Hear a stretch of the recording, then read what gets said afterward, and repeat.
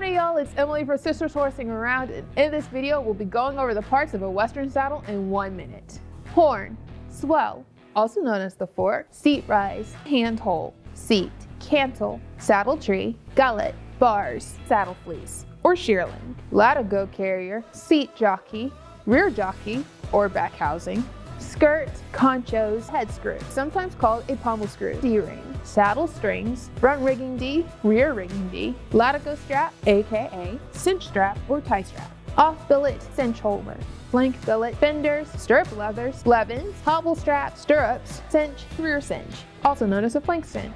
Done. If you would like to learn more about the parts of a Western saddle and take an in-depth look at their functions and why it's important to know them, then be sure to check out our video here.